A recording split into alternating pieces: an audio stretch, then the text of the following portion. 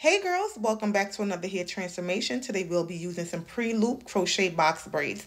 Now before doing any protective style, make sure that you are washing, moisturizing, and detangling your natural hair. I hear a lot of girls complain about rubber bands.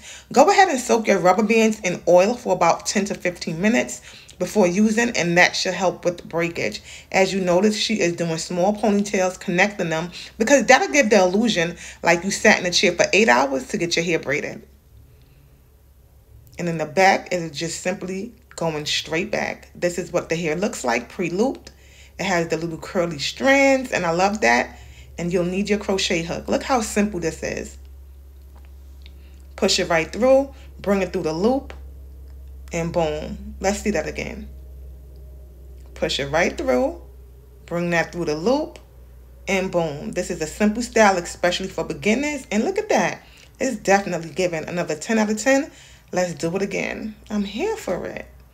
Girl, come through. You better.